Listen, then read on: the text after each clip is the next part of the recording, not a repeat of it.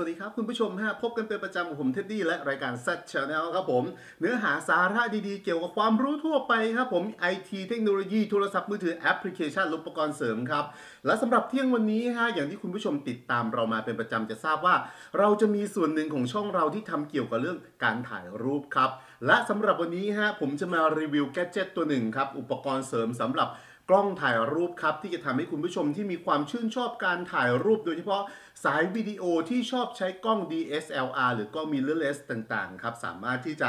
อำนวยความสะดวกให้คุณผู้ชมถ่ายรูปถ่ายวิดีโอได้ดีมากขึ้นครับแล้วอุปกรณ์ตรงนี้นะฮะ เชื่อว่าคุณผู้ชมหลาย ๆ คนคงจะรู้จักกันแล้วครับ นี่ก็คืออ่า small rig ครับผม ยี่ห้อ small rig ครับเป็นเคชครับผมเคชนะฮะ ที่ทำด้วยอลูมิเนียมฮะคุณผู้ชมฮะสำหรับเจ้าตัวนี้ครับผมสร้างมาเพื่อเจ้า Canon M50 ตัวนี้โดยเฉพาะเลยครับคุณผู้ชมฮะนอกจาก M50 นะครับยังใช้กับเจ้า Canon M5 ที่เป็น mirrorless ได้เช่นกันครับผมเจ้าเคชพวกนี้นะครับผมมีหลายรุ่นหลายยี่ห้อมาก แต่ว่าส่วนใหญ่นะฮะ ที่เจอตามท้องตลาดทั่วไป มักจะทำมาเพื่อพวกสายโซนี่ค่อนข้างเยอะทีเดียวเลยครับ ไม่ว่าจะเป็นอ่าหกพันหกพันหนึ่ง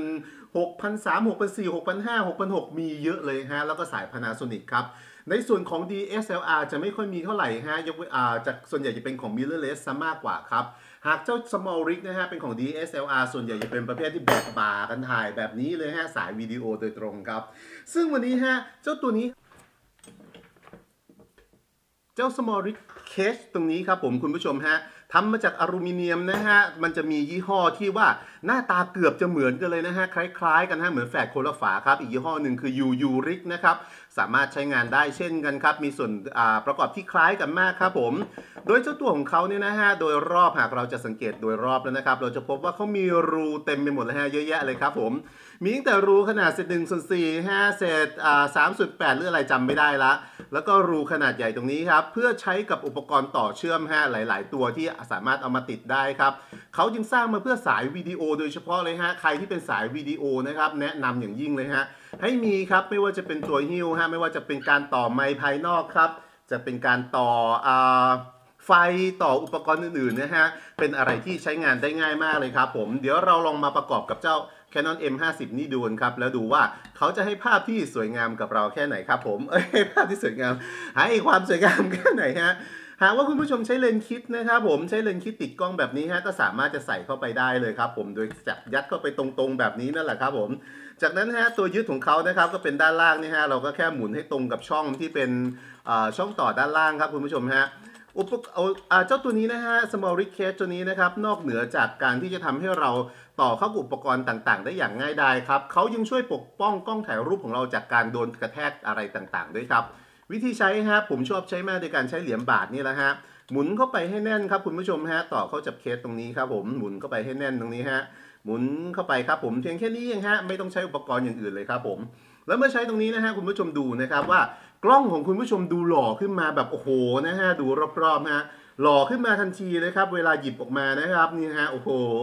สามารถจะต่ออุปกรณ์เสริมต่างๆ ได้ฮะเดี๋ยวในคลิปวิดีโอข้างหน้าฮะวิธีวิดีโอต่อๆไป ผมจะแนะนำอุปกรณ์ในการเชื่อมต่อครับ ผมที่ผมพอจะมีอยู่ฮะ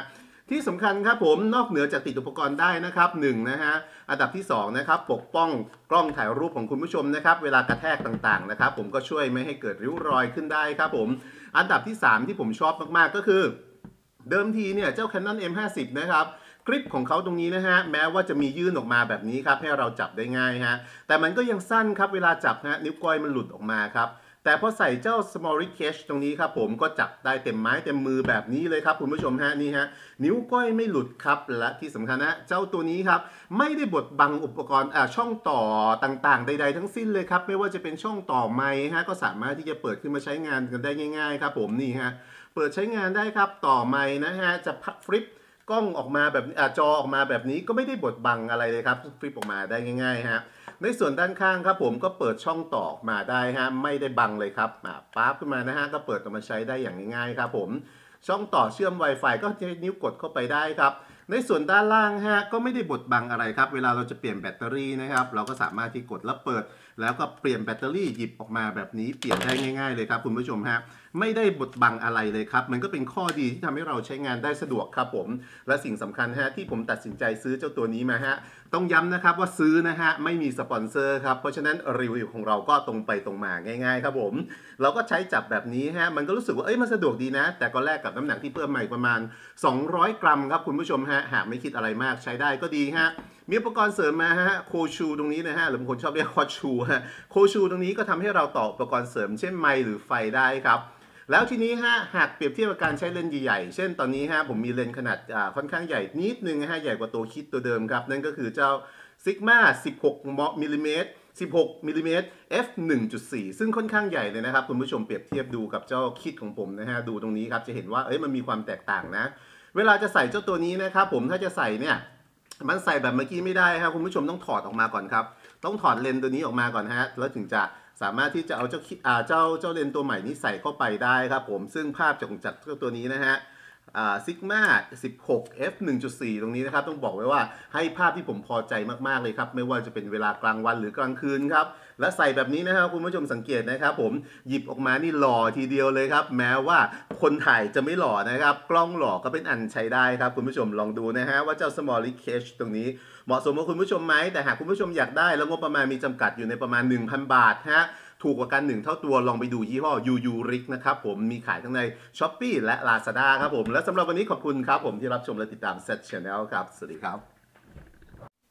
ทีนี้ครับคุณผู้ชมก็ได้รู้จักเจ้าอุปกรณ์เสริมตัวนี้เรียบร้อยแล้วนะครับ อย่าลืมกด subscribe ติดตาม Set Channel ของเราครับ และพบกับสาระดีๆ จากเราได้ทุกวันเที่ยงตรงและ2ทุ่มสำหรับวันนี้